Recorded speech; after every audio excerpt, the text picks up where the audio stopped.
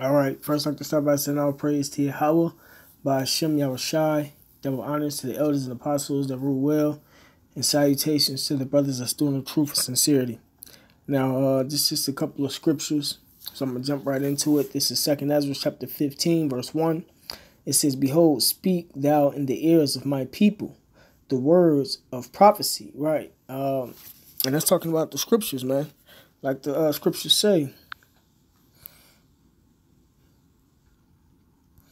Revelations 19, 10. This is Revelation chapter 19, verse 10. And I fell at his feet to worship him. And he said unto me, See thou do it not. This is the angel talking to John. I am thy fellow servant, and of thy brethren that have the testimony of Yahweh Worship the Most High, for the testimony of Yahweh is the spirit of prophecy. Right? So, going back to 2nd Ezra chapter 15, verse 1, it says, Speak down the ears of my people the words of prophecy, which the testimony of Yahweh Shai is prophecy. So that's the book, man. It's locked, yeah.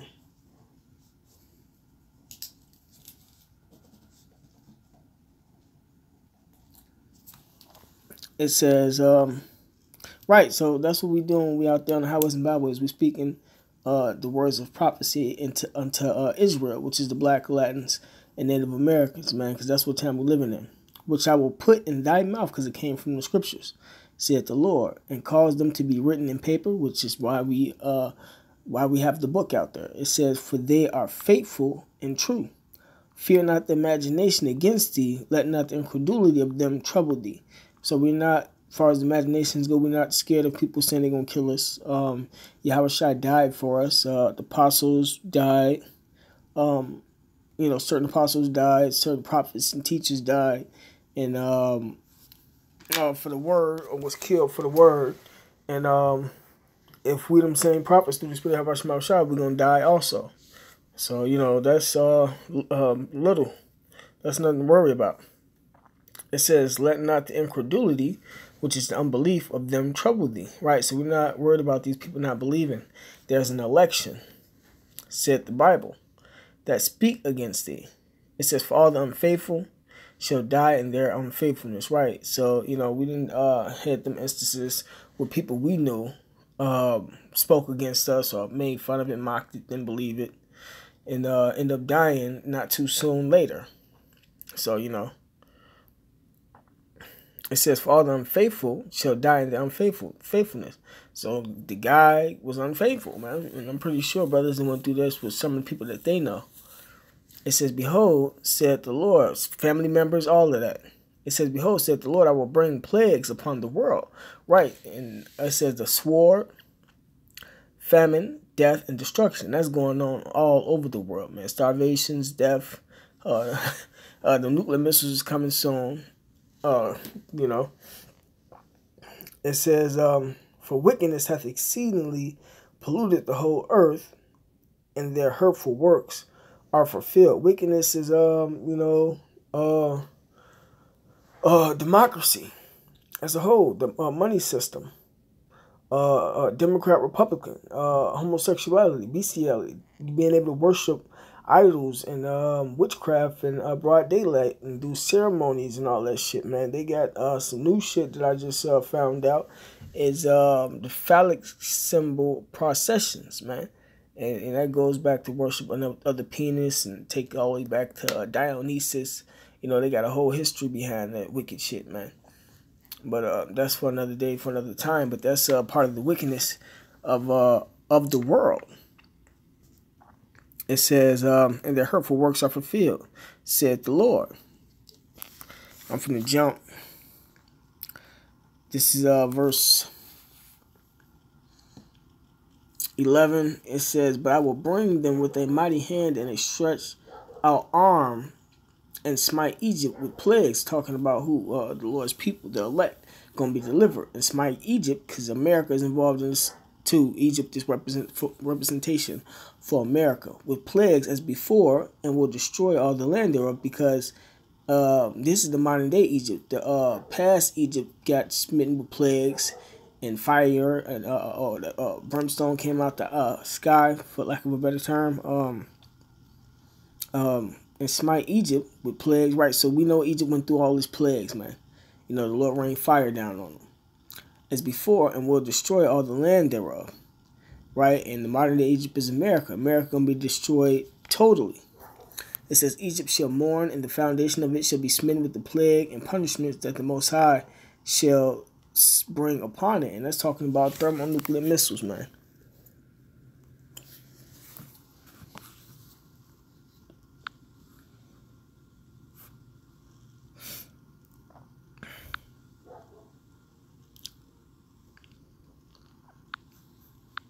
This is Jeremiah chapter 51, verse 1. Thus said the Lord Yahweh, Behold, I will raise up against Babylon, which is America, and against them that dwell in the midst of them that rise up against me a destroying wind, which is the nuclear missiles. And I will send unto Babylon fanners that shall fan her and shall empty her land. For in the day of trouble they shall be against her round about. So all you know, all this confrontation that America getting itself into with these nations and calling itself being the uh, police of the world and all that, the Lord will have it to where these nations rise up against the Americans shoot missiles on them. It says, Against him that bendeth let the arch bend his bow, and against him that lifted himself up in his brigandine. And spare ye not her young men, destroy ye utterly all her hosts. Right.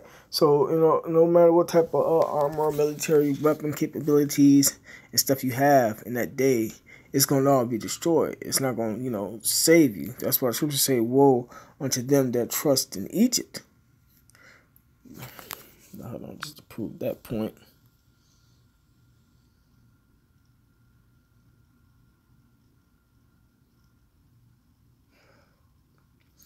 Yeah, you know what? Yeah, grab that one first.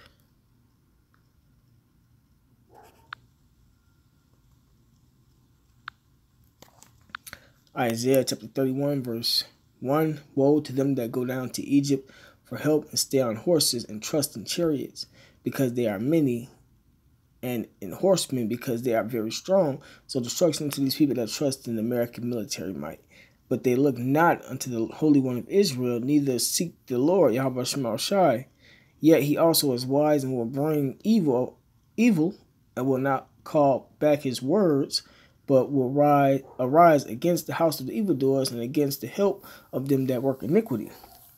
Now the Egyptians are men, and the Most High, uh, and not God, and their horse is flesh and not spirit.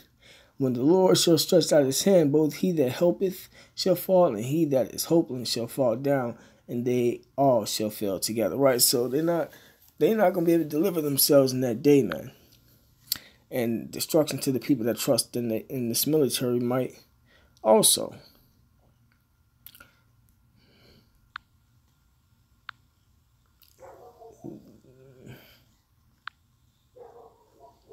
The second Ezra chapter 13, verse 1, it says, And it came to pass after seven days, I dreamed a dream by night, and lo, there arose a wind from the sea, that it moved all the waves thereof, and I beheld, and lo, that man waxed strong with the thousands of heaven, talking about Yahweh Shai and the angels. And when he turned his countenance to look, all the things trembled that were seen under him, right? Because Yahweh Shai came out the, uh, out the, uh, the, uh, uh, out of, out of, uh, Yahweh Shai came back in the chariot and everybody got scared. So like it says, and whensoever the voice went out of his mouth, all they burned that heard his voice, like as the earth filleth when it filleth the fire. And after this I beheld, and lo, there was gathered together a multitude of men out of number from the four winds of heaven to subdue the man that came out of the sea. Right, Yahushua came out of space, man. But I beheld, and lo, he had graved himself a great mountain and flew upon it which is the so-called UFO, which is a big chariot, and it looked like a mountain. But I would have seen the region or place where out the hill was graven, and I could not. And after this I beheld, and lo, all they which were gathered together to subdue him were sore afraid, yet durst fight. And lo, as he saw the violence of the multitude that came, he neither lifted up his hand, nor held sword, nor any instrument of war.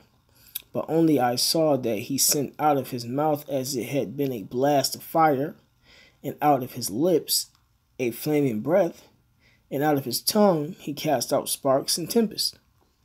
And they were all mixed together the blast, the fire, the flaming breath, and the great tempest and fell with violence upon the multitude which was prepared to fight, and burned them up every one, so that upon a sudden of an innumerable multitude nothing was to be perceived but only dust and smell of smoke.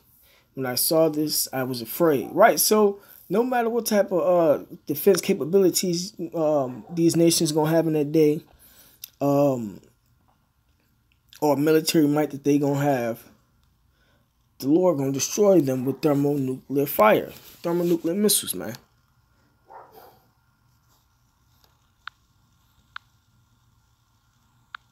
This is Second Peter chapter three, verse ten. It says, "But the day of the Lord will come as a thief in the night. It's gonna come as a thief to those that are not watching, in the which the heavens shall pass away with a great noise, and the elements shall melt with fervent heat. The earth also and the works that are therein shall be burned up."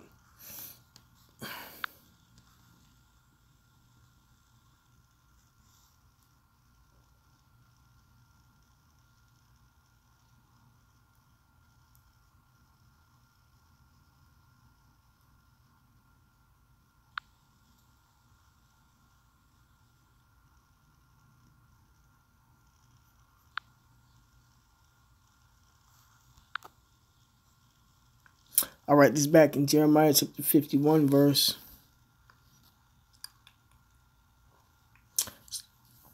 I'm going to start back at verse 3. It says, Against him that bendeth, let the archer bend his bow, and against him that lifted up, lifted himself up in the, his brigandine, and spare ye not her young men.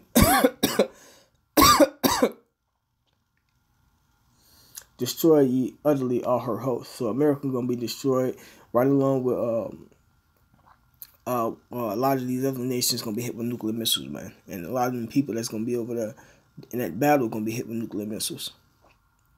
It says, "Thus, thus the slain shall fall in the land of the Chaldeans, and they that are thrust through in her streets." It says, "For Israel hath not been forsaken, nor Judah of his power, uh, of the Lord of hosts." Uh, though their land was filled with sin against the Holy One of Israel.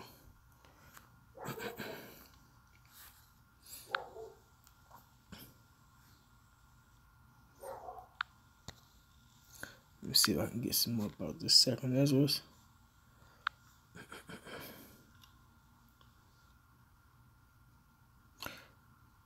All right, the second Ezra chapter 15, verse 12, it says, Egypt shall mourn, and the foundation and the foundation of it shall be smitten with the plague and punishment that the Most High shall bring upon it. They, they that till the ground shall mourn, for their seed shall fail through the blasting and hail, and with a fearful constellation write nuclear missiles. Woe to the world and them that dwell therein, destruction to the world, because not only is America going to be hit by thermonuclear missiles, but a lot of these other countries and nations going to be hit by thermonuclear missiles. For the sword and their destruction draweth nigh, and one people shall stand up to fight against another, and swords in their hands. And that's talking about race race rights, man, because this is prophecy. There, there are uh, steps to this. So, uh, with that being said, that's the uh, lesson. All praise to Yahweh by Hashem Yahushai. Double honors to the elders and apostles that rule well, and salutations to the brothers that's doing the truth and sincerity. Shalom.